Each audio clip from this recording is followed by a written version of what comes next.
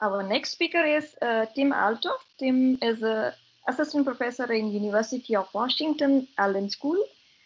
He focuses on developing computational methods for large-scale data to extract uh, actionable insights. Among several research awards, he has been awarded with SIGKDD Dissertation Award. Tim, we are looking forward to your wonderful talk. Thank you so much. Um, can you hear and see me okay? Yes. Okay, wonderful. Um, I, I, want to start by, by, by thanking uh, Mega, Wolfgang, all the organizers, the entire team behind it for, for the invitation. Um, it's it's a great honor to to follow such such great work and, and such great speakers, and I, I very much enjoyed learning about everybody's work, uh, as well as the really kind of uh, I think very lively and interactive Q and A, uh, which is awesome, and I, I, very much look forward to. Um, let me try to figure out how to zoom, uh, how, how to use Teams to share my slides here. Um, I think you're muted right now, Mega. So you will see a share content button next to the leave button. Do you see my slides? Yes. Okay, wonderful. Um, um, welcome everybody. Uh, it's, so great to be with you all. Um, I'm I'm actually at the I'm at the University of Washington, where I direct the behavioral data science group, which means I'm in, in Seattle on the west coast in the US. So it's a bit earlier over here. I appreciate you all staying a little late in, in Germany. Uh, in allowing us to connect. Um, um, given that the, the European Soccer Championship is starting very soon, I'm actually very, very thankful for the opportunity to get on uh, back on German time. Um, all right. Um, so what, what I want to talk about today is um, how how we might be able to use AI for empathy in mental health support. And um, I want to start by just acknowledging that um, everything I'm going to uh, show you is, is really the work of a much bigger team, uh, including uh, my students Ashish and Ina, as well as clinical psychology collaborators, um, Adam and Dave, as well as different uh, platforms uh, such as TalkLife that we've been um, very um, grateful to, to be able to work with. Um, I also want to start with a content warning. Uh, the presentation today um, will contain some examples related to self-harm and suicidal ideation. Um, we use those examples only to illustrate really what's what's kind of in, in the data, what's what's in, in the world, and, and, and what we're really trying to address. Um, and of course, we have ensured that all these uh, uh, examples are appropriately anonymized. So um, what's the main motivation behind this world, uh, be, behind this work? Um, unfortunately, um, access to, to mental health care really is very poor. And unfortunately, it's poor across the globe, uh, almost no matter where you look. And um, there's huge, uh, huge problems to, to get uh, mental health care. And one thing that really struck me is that we might never have enough mental health professional to take care of everybody, especially as the need is, is increasing um, in, in general over the last uh, decade or so, and, and especially over the, the recent pandemic as well. We know how many people are being trained, and, and, and we know that there's kind of not anytime soon will we actually have enough people. Um, this is where, at least for some conditions and situations, online peer support platforms can come in. Um, because of stigma, um, cost, and, and, other access barriers, millions of people actually use online platforms to, to seek and provide support. Um, we've been working with TalkLife. Um, you see kind of a screenshot of, of their app here on the right. Um, uh, people will will go there, share what they're struggling with, and, and they can interact with others and get support. And there's many other platforms like that as well. Now, um, a key component uh, for providing effective and successful mental health support is empathy. Empathy is the ability to understand or feel uh, the emotions and experiences of others. Um, uh, here's an example. Um, say somebody shares that they're struggling um, and, and, certainly are perceiving that their whole family hates uh, them. Um, one way to respond empathically might be to say, oh, if that happened to me, I think I would feel really isolated. Um, um, do you feel that way? Kind of in, interpreting what the other person is going through. And uh, empathic interactions have a really strong effect in mental health. Um, there's countless studies that have shown that these type of interactions have strong associations with positive counseling outcomes, and they help us um, build better relationships, which uh, psychologists would often call alliance or, or rapport. Now, um, empathy is a very complex, nuanced con uh, concept, uh, and we'll talk about it today. Um, and expressing empathy requires a lot of expertise and training. Now, these peer supporters on these platforms are absolutely amazing. They they kind of come there and volunteer their time and energy to and want to help others. Um, however, they're also typically untrained, um, and we find that highly empathic conversations are fairly rare. Um, for example, um, a post you might find are, are, people responding something like, try talking to your friends. Um, that's uh, suggesting an action and uh, kind of telling the other person what they might uh, do. Uh, you will find that uh, professionals very rarely will do something like this. Um, and the, the kind of primary question behind this work is, how can we empower these peer supporters to provide more effective support? They're amazing people. They're highly motivated to help others. How can we help them be more effective at this goal? Um, so, for example, what could we do to take um, to take kind of the the types of responses we're currently seeing and uh, transforming them and helping people express empathy more effectively? And um, everything that I'm going to talk about today will be about how to use uh, AI machine learning based systems to help and kind of empower these peer supporters to express higher levels of empathy. Now, um, turns out this is really hard, um, and, and, we've learned a lot. Um, um one first challenge is that um, when we talk about empathy, kind of everybody has kind of a, a, kind of a colloquial understanding or opinion about empathy. Really, what we want to capture here is is a clinically relevant construct of empathy. Matching what clinical psychologists know and understand is very important. Um, it turns out that construct is very complex. Uh, it's a lot more than just positive sentiment or an emotional reaction. Uh, for example, the literature would highlight uh, very cognitive aspects of interpretation and explorations of feelings as well. Um, if you're a computer scientist and, and you kind of go out and, and, look for data that you could use to better understand this, turns out there's no labeled corpora like this. Um, we very much want to empower people through through learning and, and training, um, as you'll see later. So we would like to create explainable uh, predictions, uh, which is challenging. And lastly, we really want to make sure that when we um, give feedback, that this feedback is actionable. Kind of what could somebody concretely do to express empathy more uh, effectively? Um, so here we decided that we really want to give feedback in, in natural language um, in our case English, but we want concrete, coherent language, which we know is complex, high dimensional, and, and hard to generate well. Uh, we also want this to be context specific, meaning it's personalized to your situation and we only bother you when you actually need it. Um, and another thing that's really important is to make sure that these, um, uh, to kind of retain the natural diversity um, of people's conversation. It's a really meaningful human to human interaction here that we do not want to turn into kind of a very generic robotic template. Uh, and I'll, I'll, come back to that uh, later in the talk as well. So um, what I, I, will do today is um, we'll um, basically have two main parts uh, to this talk. Um, I will first tell you about um, uh, methods to better understand empathy.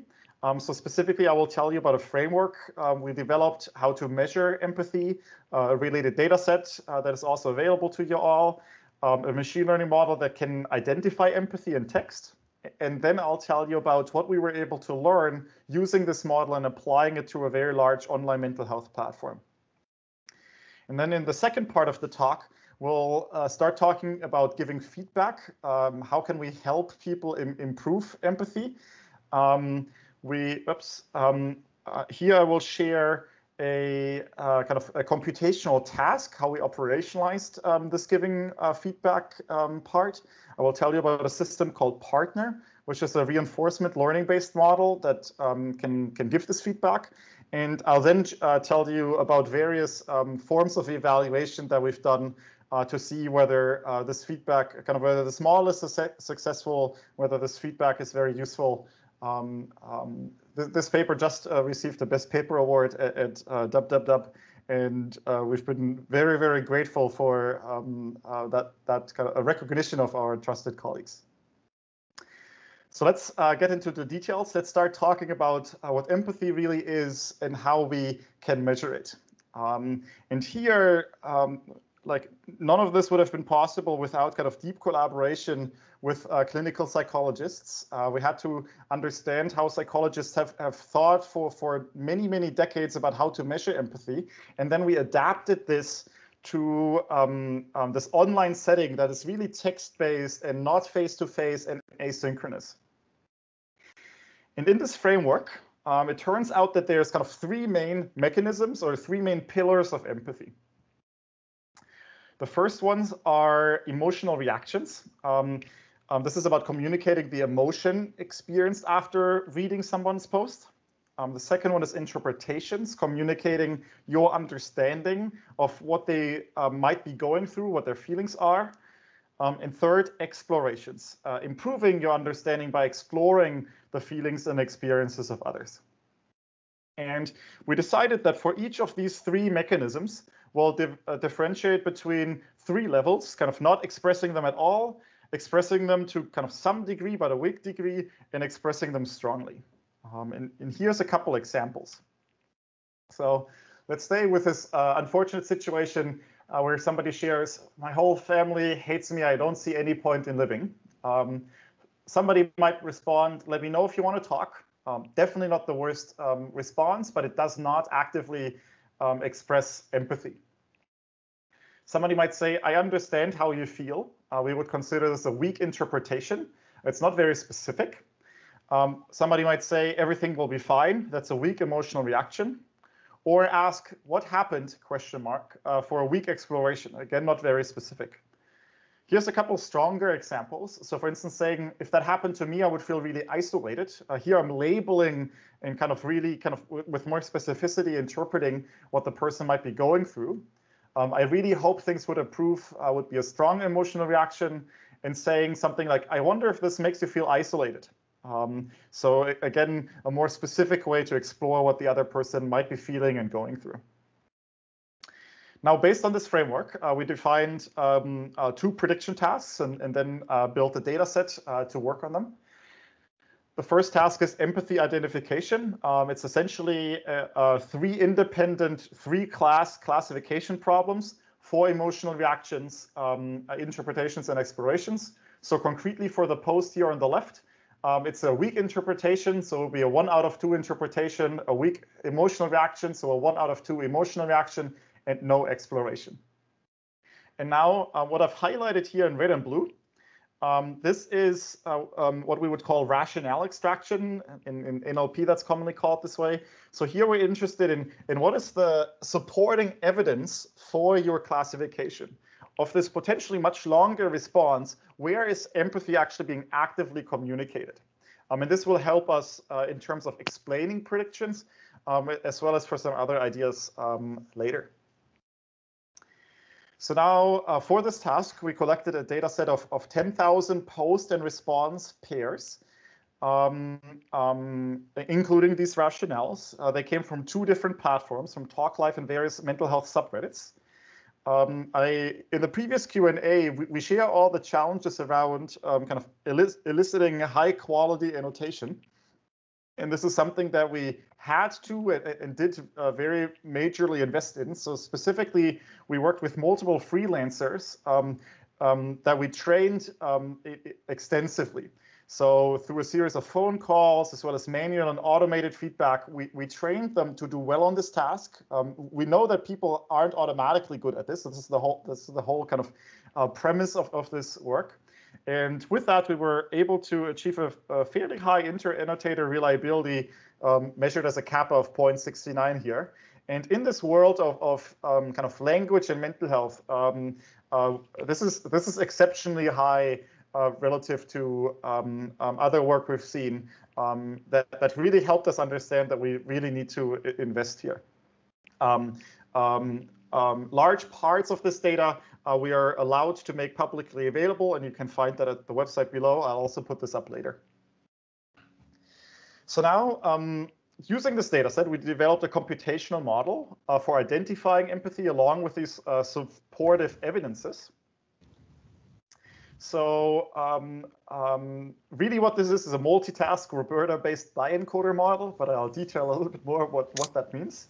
So um, somebody might say, uh, kind of life sucks, I just lost my job. Somebody might respond, I understand how you feel. Uh, fairly short, but this is the example we'll work with here. Um, and uh, the model will take those two um, messages and then um, both predict, oh, this is a weak interpretation, uh, kind of the class label, as well as a binary mask uh, for the rationale. And this works by first tokenizing both messages, um, then independently uh, encoding them uh, through independently pre-trained RoBERTa-based encoders. Uh, those are transformer models and uh, then applying attention across both the, the seeker post as well as the response post, um, and then two heads for this um, multitask uh, classification. When we applied this model, um, the results were very encouraging. Uh, we were able to identify empathy with about 80% accuracy, 70% uh, F1 score. Again, a random baseline would be about 33% accurate, um, given the, the three class classification um, problem. Um, this model, I won't go into detail here, actually it didn't depend on the exact evaluation task. Uh, this model outperformed many popular uh, NLP baseline models like our favorite BERT, GPT-2, DialoGPT models, etc. Um, and one thing I was particularly excited about, um, because I don't get to see that very often, is that uh, this model actually generalized across data sets very well with virtually no loss in performance. So when we trained on TalkLife and, and then um, tested on, on Reddit or vice versa, we had virtually the same performance. And, and what this is, um, this suggests that we can capture a more general and site-independent empathy construct. Um, this matters to us because we, we really wanted to capture this meaningful clinical psychology construct of empathy and not just do something that seems to be specific to just kind of one particular platform. So now I'll tell you about what we were able to learn applying this model to a large um, online platform, specifically TalkLife. And what we did here is kind of this TalkLife platform is, is very large, millions of people use it. Uh, it's a social network, social media type platform. So there's lots of things happening on this platform that aren't exactly about mental health. I know discussing um, know, pop culture, music, other events. Um, so what I'm going to show you is only on the subset of posts that were really sharing significant mental health challenges. And we felt strongly that those were the kind of types of interactions where it would be really useful to see some empathy. So what did we find? Um, first, um, it, uh, it appeared that our empathy construct really appears meaningful to TalkLife users. So here we look on the y-axis at the responses. How often are they liked? um, depending on the empathy level. And if empathy is higher, um, they receive uh, a lot more likes. Um, this is true for emotional reactions and interpretations, but not explorations. However, explorations really keep the conversations alive and keep going. So stronger explorations uh, get about 50% more replies. So uh, this is showing that high empathy interactions seem to be received positively by seekers on this platform based on these uh, kind of social network proxies. Um, and um, this was exciting to see. Kind of, there's there's no guarantee that whatever clinical construct actually would be meaningful to people on this platform, uh, but it looks like it is. Um, there was one more piece of evidence supporting this. Here we're looking at how likely are you to follow me uh, in kind of a social network following sense, so we can keep uh, keep uh, being connected afterwards. If I reply to you with lots of empathy.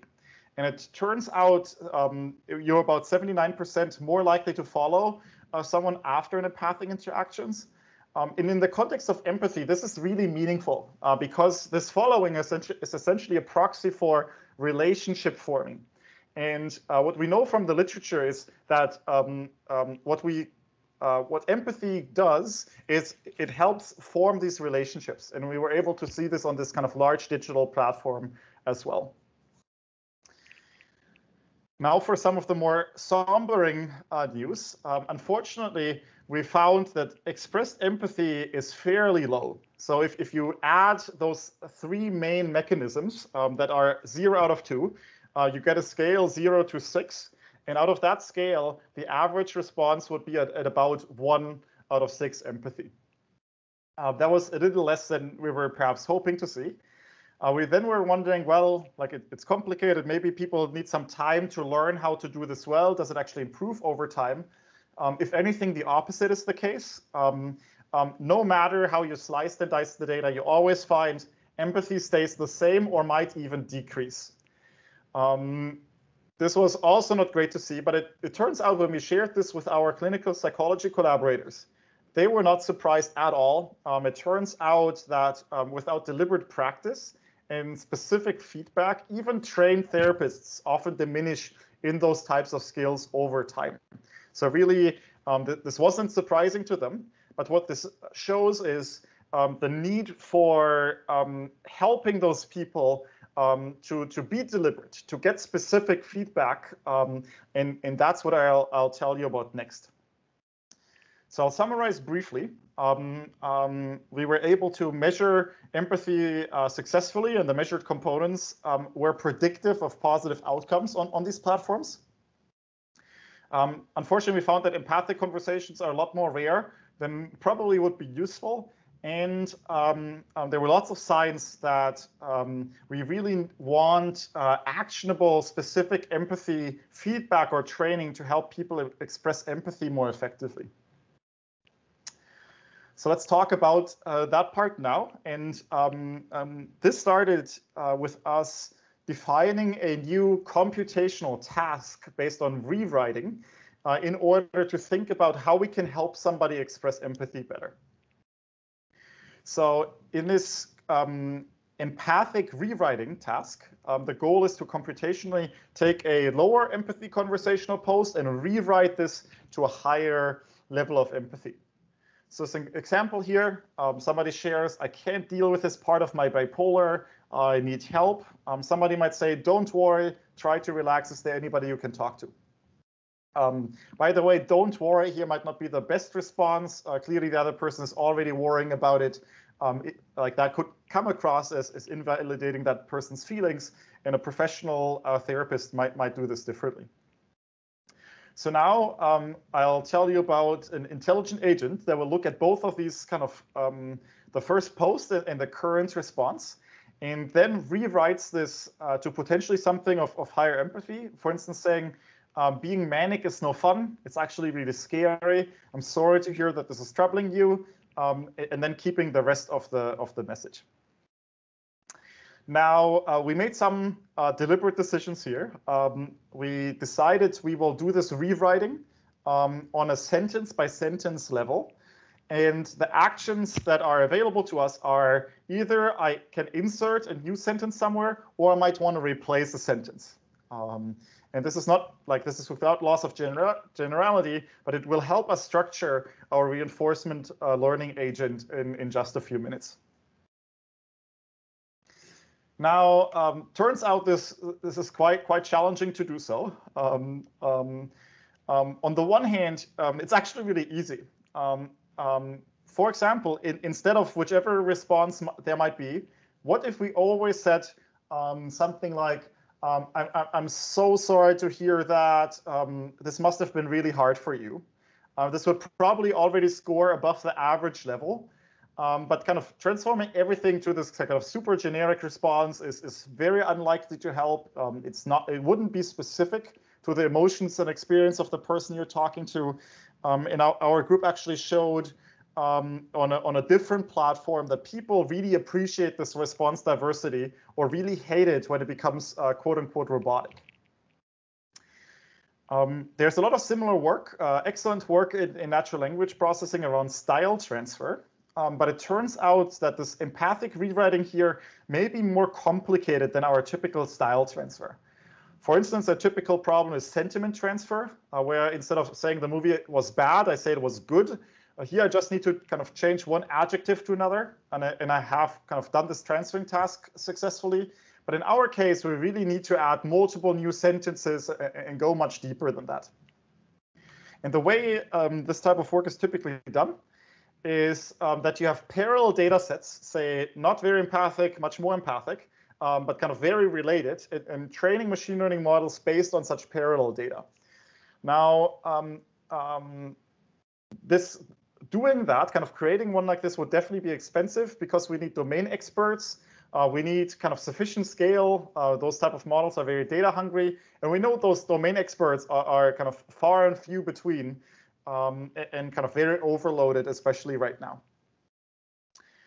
What I'll now tell you about is um, this system called Partner that is based on reinforcement learning to perform this rewriting task. And it can perform different editing actions and, and work with you on editing your posts. Um, and it will incorporate various objectives um, like specificity and diversity, and it will not need kind of a, a kind of um, um, kind of expensive parallel data set for training. So so we will change the type of challenges I just uh, discussed. All right, so in reinforcement learning, um, kind of we use the standard reinforcement learning uh, setting. Uh, this involves um, having a state and actions and a policy of which actions to take and rewards um, uh, for how good these actions were. Um, in our setting, um, um, our agent works on a conversation between the, the seeker and the peer supporter. Uh, from that, we will define a state. Based on the state, we will decide kind of which rewriting actions we want to take. Um, and then based on this um, kind of change, this action, we will get some reward depending on how good it was. And now I'll tell you uh, kind of more details about each of these parts uh, respectively. So the state um, is based on the seeker post and a, uh, a part of the response post in, in case they're they're longer. And um, kind of that's that's all we base the state on. Uh, we can then take uh, two actions. We can insert an empathic sentence or replace an existing sentence with a more empathic one. And really what's happening under the hood is first, um, we will select a position. Where in the current response do you want to take action? And then you have to generate the sentence that you want to place right there. Um, so this example, we might say, oh, we want to replace don't worry. Um, we will then generate a candidate sentence, say, say being manic really is no fun. Um, and then we could uh, do that replacing action. Now, how our policy works is we would start with that seeker post and that response post, kind of, the, or that partial um, contiguous sequence of the response post. Um, both then are passed uh, through a transformer language model that uh, predicts um, jointly both the kind of where, where, which position to do it and what sentence to put right there. So say in this particular case, we would decide to put it at position zero, and we want to put there, um, I know how heartbreaking this must have been, um, so the rewritten response would now have that exact sentence at position zero. Now, based on this uh, new response, uh, we will um, gain some rewards. And um, here we really need a series of rewards uh, to ensure that we have highly empathic rewritings, but we also want to maintain um, proper English language and conversational properties like fluency, uh, specificity, and diversity. Um, so what, what rewards do we have? Um, uh, of course, we have a change in empathy. Kind of this is the primary goal. So is it more empathic afterwards than before? Um, we capture text fluency through the perplexity of the rewritten response. Uh, we capture sentence coherence. Kind of do the sentence really make sense um, with each other, or kind of do they even um, contradict each other? Um, and we have a mutual information-based reward uh, that ensures specificity and diversity. And I'll tell you a little bit more about this one because it's particularly interesting and it was, it was very useful. So um, essentially this mutual information um, part asks whether the seeker post and the generator's response share any information. From an equation perspective, it looks like this. Uh, really what's happening here is um, we wonder, can I take the seeker post and then generate my response? And then can I do the opposite? Can I take the response and then generate the seeker post again from that response? And this helps because um, um, it's not possible to take a very generic response, something like I understand how you feel, and, and generate the entire kind of original seeker post from it. And um, kind of this is how this can help you with specificity and diversity. Um, now, kind of, we, we still have the problem. Eventually, we need data to train uh, such a system, um, and this data is, is kind of not easily available. And uh, here we had an interesting idea that is um, actually based on, on some interesting work in AAAI by, by West and Horvitz. Um, and the, the interesting thing about empathy is um, it turns out it's hard to generate. Um, that, that's the problem we're having here. But it's actually much easier to destroy or, or to decrease empathy. And um, in the paper below, they had the same idea for, for humor. It's much easier to destroy a joke than to generate one.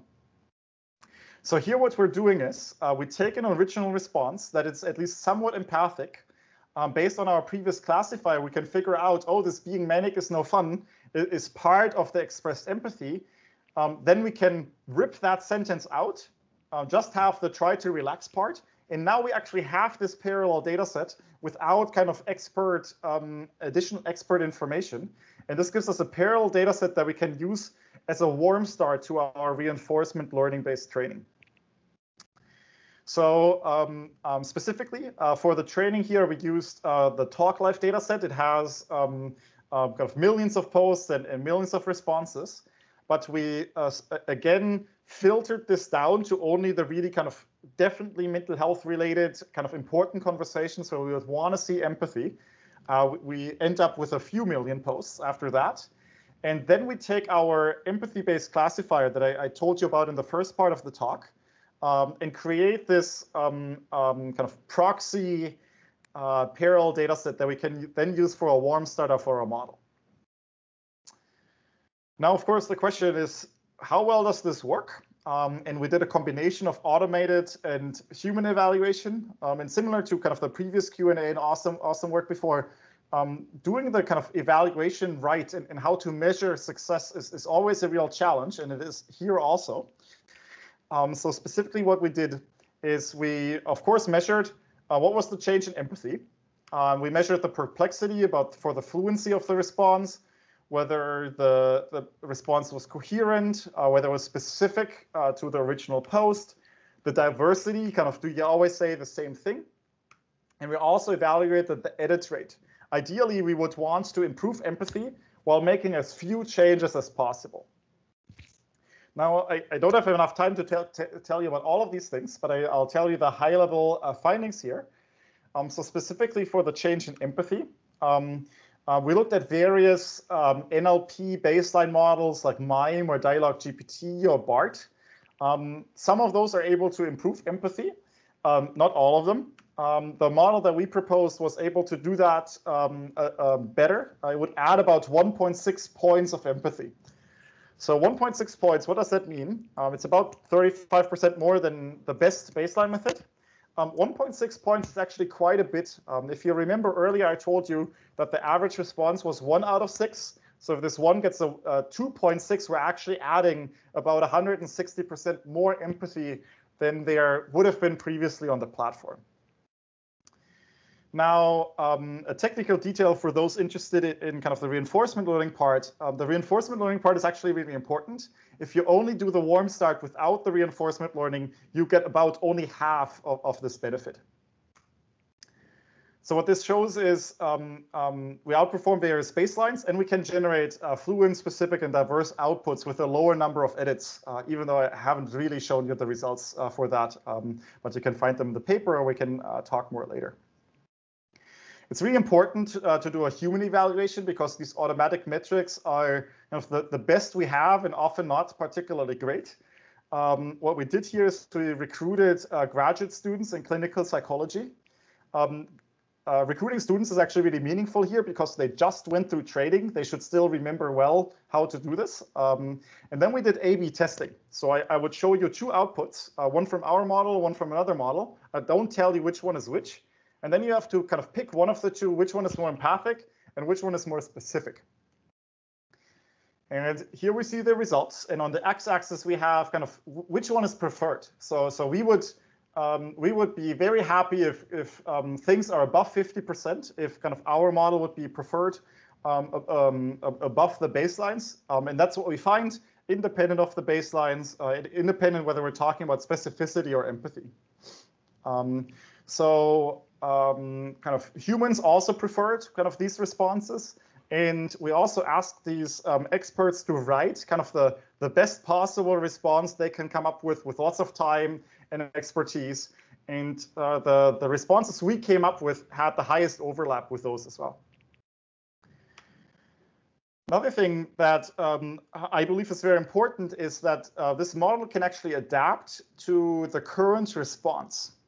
Um, what you see here is that the other baselines, if you already have a, a, a very highly empathic pose, like a four, five, six, we know this is rare, but what, what if you actually had a great um, empathic pose to start with?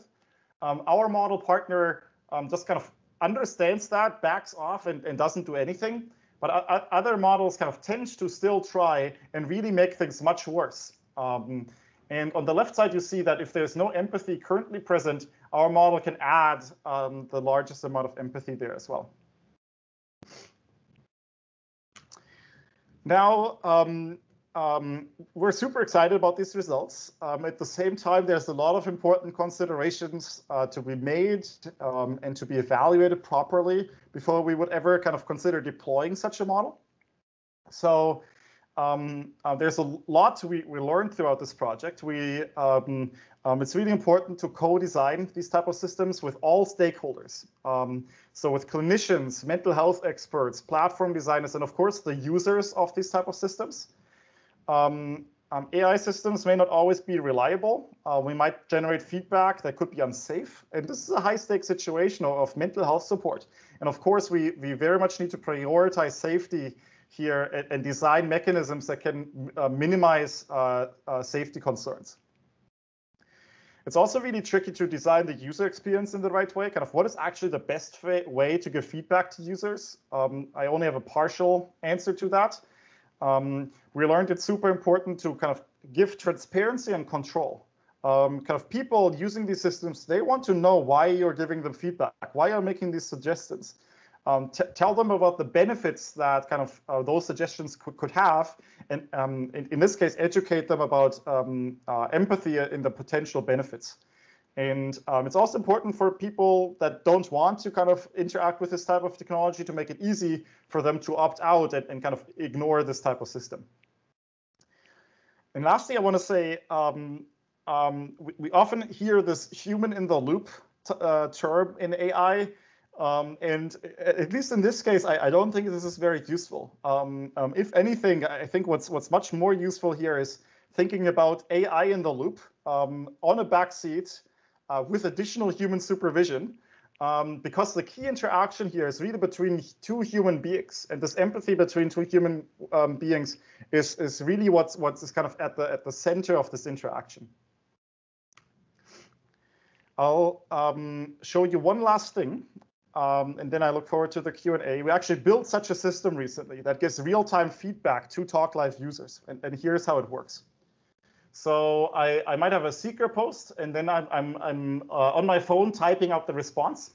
Um, and, and, if you if you want help or you wait a really long time, um, you will see kind of this pop-up, kind of would you like some help? Uh, you can click on that, and uh, then it takes us a couple milliseconds to run our deep learning models to give you some suggestions. And uh, this is the suggestions we generated in this case. Um, so the post read, I hope I didn't lose my two best friends. They're the only ones I could relate to. Um, and we suggest, oh, you could say that's awful. Um, what happened between you two, and then add uh, what caused you two to break, kind of a more specific exploration here. And then you can click on these, or you can ignore these, or you can get new feedback, or you can just kind of type or, or fix up your response. Um, and, and, once you're done, and um, our model says kind of you did a great job with empathy, we also give this positive uh, feedback. Um, we're actually currently evaluating this in a, in a randomized controlled trial. Um, so here we have a control group um, that doesn't get feedback and a treatment group that will get feedback. Um, but we wanted to keep the bar very high. So both of these groups actually get a, a, an empathy training, kind of a static document that they work through with a couple examples for empathy. They both get that uh, training right before we ask them to write empathic responses.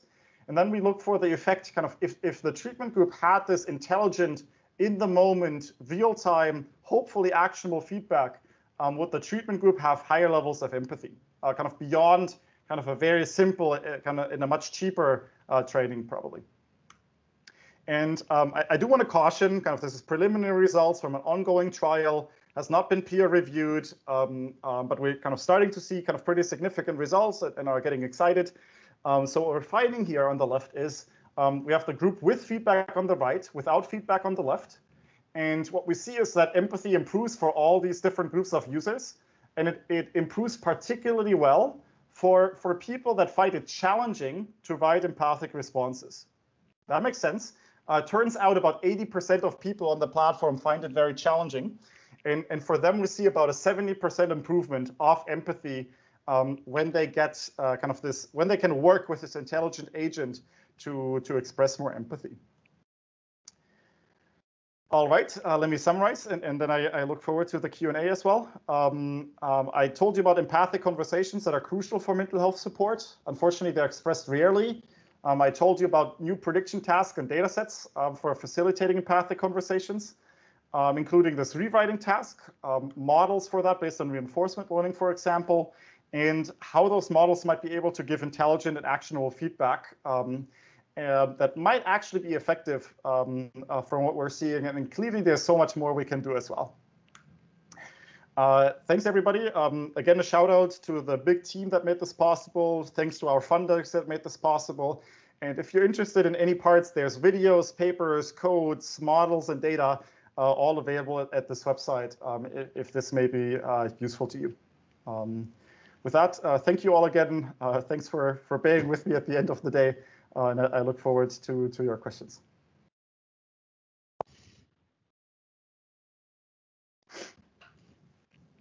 I'm muted. Thank you, Tim. That was a great talk. We have time for questions now.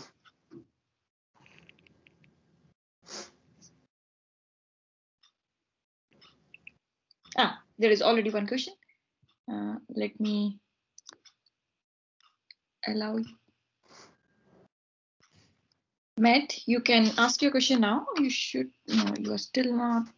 Hi, Tim. Uh, this is uh, fascinating work. Uh, one of my previous jobs was training people in peer support. Um, oh, awesome. have, have you got any plans to uh, apply this to the therapist patient conversations?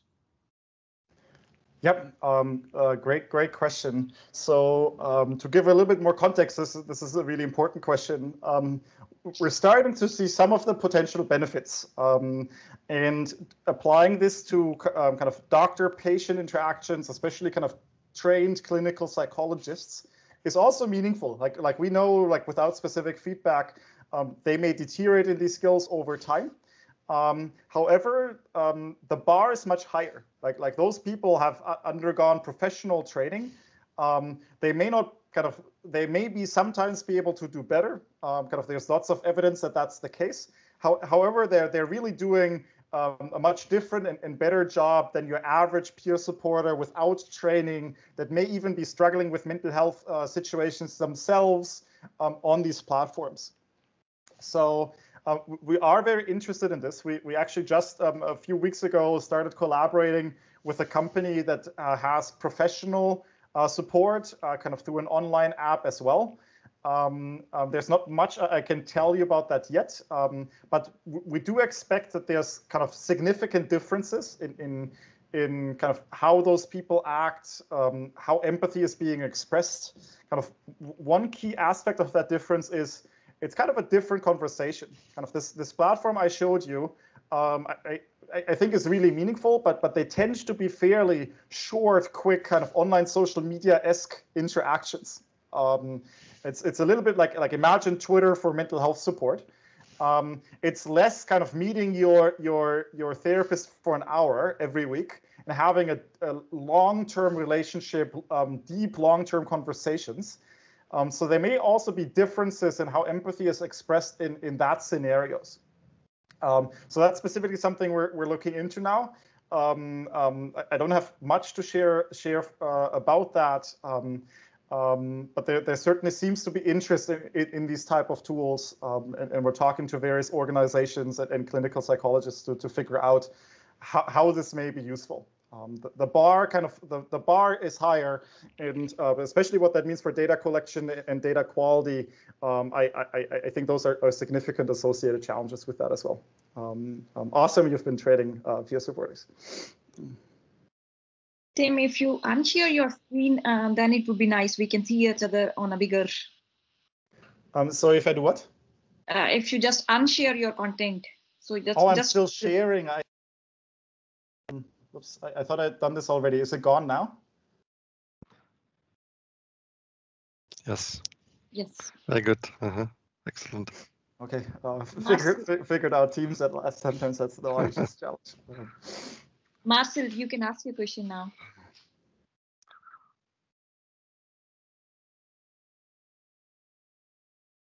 Marcel, we cannot hear you. See, you're not muted, but I also can't hear anything yet. Okay, maybe he tries to log in again. Uh, we can go with the next question from Sonam. Ah, okay, Marcel is back. Marcel, uh, I'll I'll again unmute you. Okay, I need to find you.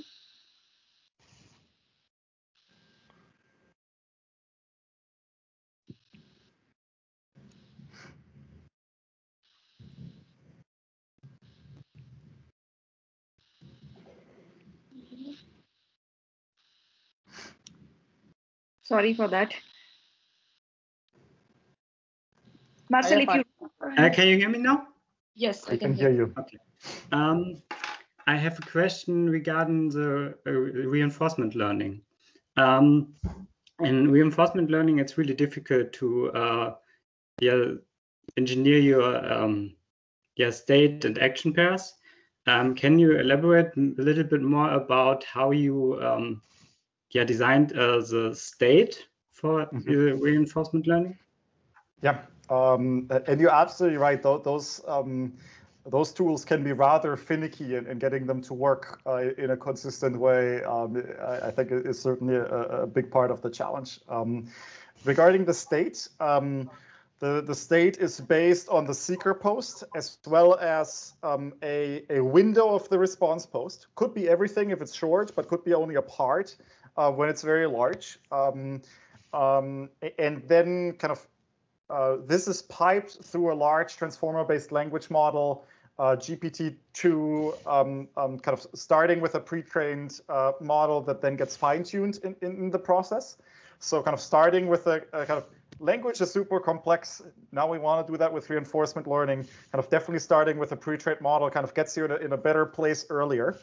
Um, another detail was kind of using these small windows rather than the uh, kind of looking at the entire post at once seemed to help in practice a lot to get more consistent results. So the model essentially has kind of less to think about. We just look kind of at two sentences at the time. Um, at some point, we get to kind of figure out, do we want anything in the beginning? At another point, I get asked like, oh, do you want to add anything in the end?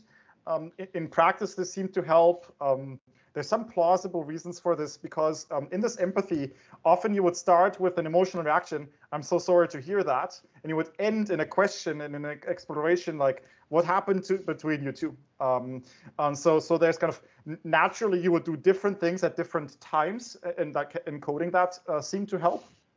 Um, I honestly think we could have done better on encoding the states than than we did. For example, making it easier for the model to to kind of have the empathy classification available at all times. Kind of that's happening implicitly in kind of the natural language representation.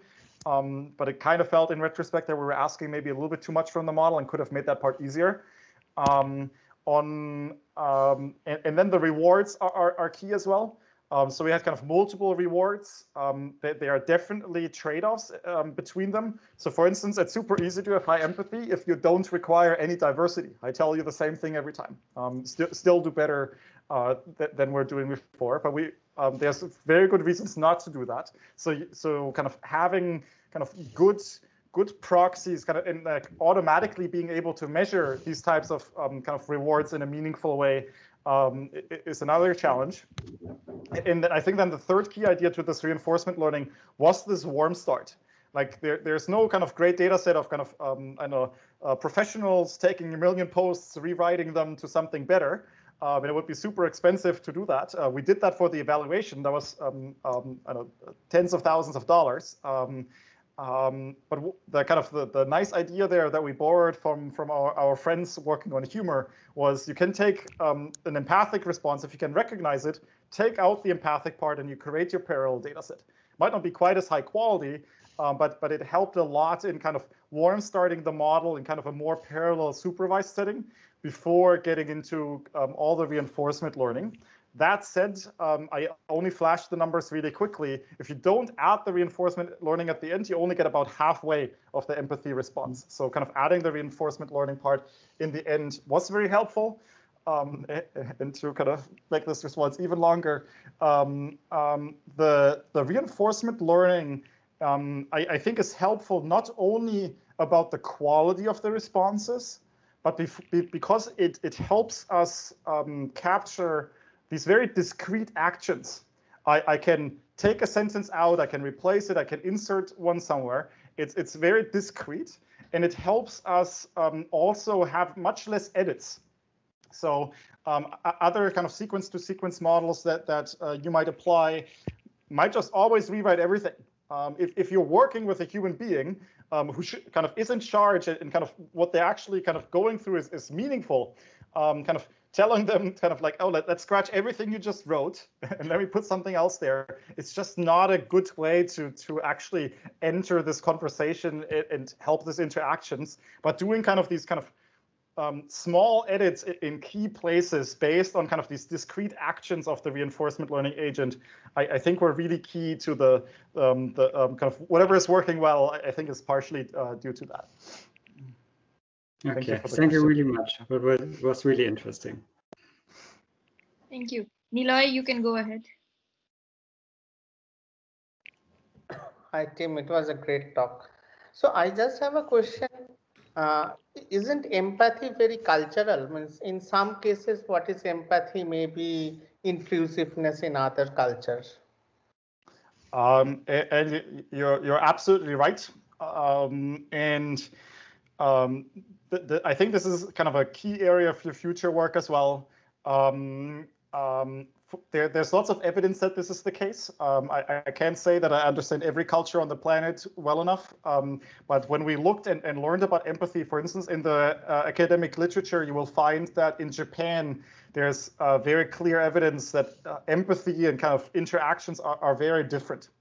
Um, so clearly, whatever I've shown you is, is um, likely biased towards kind of a, a Western, um, um, perhaps also English speaking, and perhaps even more views. Um, the platform is fairly large. It's used by people in, in dozens of countries, uh, including non-Western countries. Um, but it's it's kind of largely English speaking. We only focus on English speaking contents. Um, and, and, that certainly brings all kinds of selection effects and biases with it. Um, um, um, I, I, think honestly, I think this is a complicated question, and kind of being able, kind of what I showed you was in part enabled by having these large data sets. Um, but I know, for example, in, in, in India, there's uh, some folks at uh, Microsoft Research uh, doing very awesome work on actually on the same platform, um, comparing how um, uh, users in India are, are, different from other users and, and going deeper on, on some of these questions and um, also within the U.S. and uh, United States and I very Western um, American culture, there might be differences as well. For instance, between kind of race and ethnicity, in which other other other factors matter. And um, we we just got um, uh, one of the grants behind this work uh, renewed to to to work with some um, uh, folks on, on on some of these questions as well. Um, it's it's a, a, a absolutely well taken and appropriate point. So, just to give an example, like say in India, telling thank you is many times considered as rude. it's a very culture specific thing many times, yeah. I think we have time for one last question from Sonam. I have to be careful. Um, thank you so much. Thank I have to be careful thank saying you so thank you. Yeah. I'm also from India, but I, I really don't think saying thank you is rude. but again, yeah, as uh, specifically said, it's like quite different, quite subjective. That's true. So I appreciate the tra transformer-like uh, model that has been used uh, for training. So uh, probably the named entity recognition should be like taken care of a bit more specifically. Probably, you know, if we can classify the training data uh, depending on the mental health condition type. Like, for example, there might be the, the mental health condition might be because of like substance abuse or um, you know, alcohol abuse on one side. It might be because of schizophrenia or like uh, OCD or something other like that. So probably if if we can we, if we can classify these training data and then uh, depending on that train the model, probably the peer-to-peer -peer interaction would be a bit more uh, specific. Uh, what are your views on that? Yeah, yeah, uh, great point, and, and, thank you for the question as well. I hope it's not rude. Um, um, part about your question, kind of like it, it, it um, suggests that there's lots of other things we can do to make these um, conversations better. Um, I, I, think that's correct. Um, for example, there's a lot more than empathy that might matter. Um, we very specifically focused on empathy. Um, we spent quite some time kind of thinking about what is the right kind of um, um, like what's the right way of how we might be able to help? Do we want to work on empathy or something else? Uh, for instance, um, um, reflective listening, complex reflections, or or cognitive distortions and reframing cognitive distortions are, are some of kind of other, other things counselors and therapists do um, that, are, that are fairly basic and, and they're really kind of true across um, all kinds of conditions. So we also very intentionally picked empathy because it was um, a very central construct that is always relevant. Uh, it's also often the first step. So this kind of uh, relationship building, alliance rapport is, is very important. Um, kind of how clinical psychologists talk about it is kind of first I have to build a relationship and, and then we can kind of really start doing the work and, and kind of do much more than just empathy. Um, um, but getting there is often a challenge. Um, so we kind of intentionally chose empathy, but there's so many other things you could do, um, um, including everything you said. And, and, and what, what, you said kind of reminded me a lot. Um, essentially, we're getting into kind of more personalizing the interventions. The intervention here is actually language. I, I, think it's it's fascinating to think about language as behavior and language as interventions. Um, unfortunately, it's a very large space of, of potential interventions, um, giving rise to kind of various computational and interesting challenges. Um, but for instance, like not talking to everybody in the same way, for instance, based on kind of what they're actually struggling with, um, is, a, is a perfectly reasonable thing to do uh, that could benefit from, from the types of techniques um, you're bringing up. Um, in another project we recently kicked off, we're, we're working on, on this personalization um, um, of interventions. Uh, it's kind of a very long-term study, but the idea there is kind of based on everything I, I could know about you following the conversation. Um, can I identify kind of different risk points, um, kind of issues with engagement? Uh, the previous Q&A talked a lot about motivation. Can we identify this, see where people might fall through the cracks, and then find the right kind of interventions um, um, that, a, that a therapist could do to kind of help this process uh, uh, along in the way that's best for, for the client or patient or whatever we might want to call them. Um, and I, am super excited about this direction. I, I, think there's a lot we could do. Um, it has a lot to do kind of with the previous question about how do you learn a proper state of everything that's going on based on all this heterogeneous information to make predictions which type of interventions might be more, more useful. Um, but I'm very excited about this particular project because we'll actually uh, try to test this out. And, and um, we're in a setting collaborating with uh, various organizations to be able to use intelligent models to suggest interventions and see whether anything gets better rather than, for instance, uh, randomly assigning them or, or doing kind of the status quo type type treatment. Um, I, I, think it, it's such a kind of open open direction um, kind of that, that you're bringing up. Um, and um, we kind of chose empathy as kind of the first steps, um, um and, and, clearly there are um, many, many more. Um, uh, thank you for that also, question. You talked about you know implementing an app, a mobile app or a web app in this regard. So that's really a fantastic idea because uh, you know with the pandemic hit uh, quite hard in uh, most of the countries, uh, the e-learning industry has really taken off. So you know we could use the same kind of model in uh, in health education as well. and also like uh, helping peer-to-peer uh, empathy, building this model. So uh, probably, you know, when you train the model, uh, you could have different modalities for patients, for caregivers, for uh, and also for therapists and other professionals. Uh, probably they would look at the problem in a different way, and that might help in training the model in a more efficient way. that's the thought that I have. Yeah, um, absolutely. And I think what you bring up, um, getting feedback on conversations is something that um, lots of areas could, could potentially be useful. Education, I think, is a useful, like any amount of tutoring. Um, um, um, that's an area we're also very excited about. There's also areas in, in, marketing, kind of how, how do you change your messaging in order to get different goals? Kind of there's lots of kind of conversations with key outcomes type setting um, I, I, also teach. Um, I also uh, get to men mentor awesome researchers. Right? Like in all of these situations, um, uh, I, would love to figure out kind of what's the intervention to, to kind of help you kind of do the, the best work you can. Um, uh, and I, I, think it's potentially relevant to kind of a lot of these uh, these type of cases. Um, thank you, sir. Yeah, thank, uh, thank you all.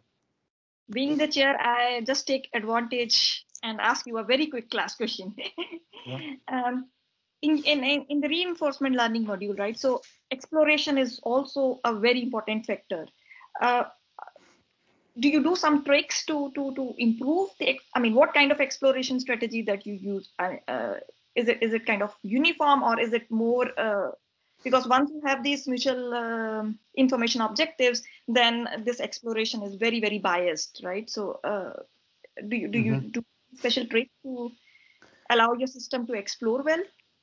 Um, it, it's a really great question. Um, I, uh, in some level, I, I, think the, the tricks we, we applied um, that helped us uh, relative to the previous questions as well.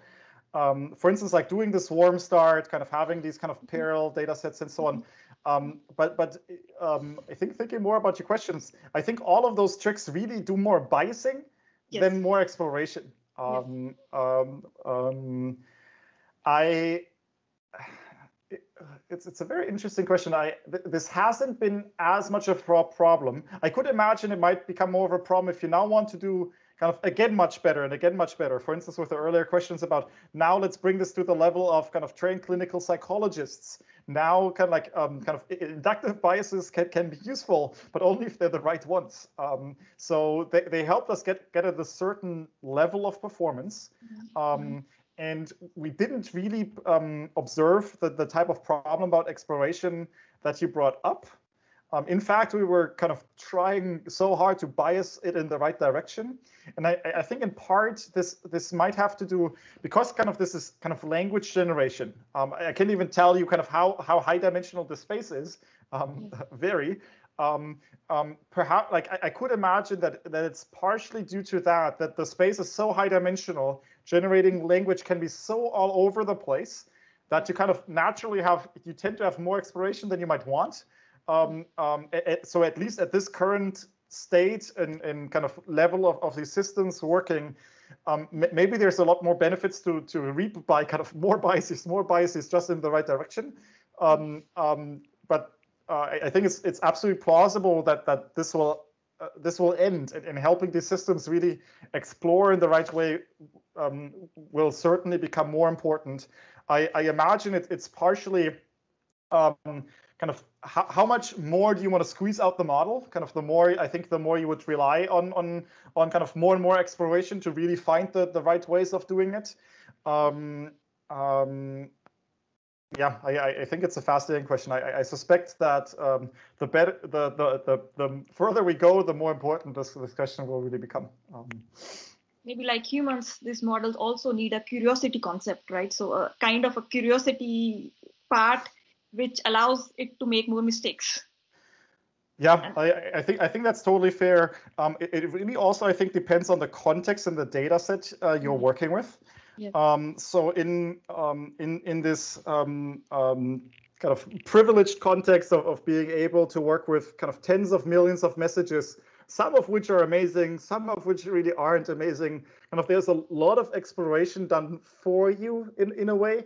Or like this mm-hmm. this is not an agent that um, I don't know, um, um, but like this is this is not kind of language learning you know trying to imitate a child's language learning starting from nothing and then building it up um, where you really have to kind of explore so much more. Um, kind of starting with kind of a, a database of, of, tens of millions of messages and some understanding of what might be empathic and what isn't. Um, um, I think really helps, and this might have, might have helped us dodge the, the challenge you're bringing up. And, and kind of clearly, we won't always have this much data. Um, kind of, mm-hmm. especially the, the higher levels of expertise you want, you will have less and less data.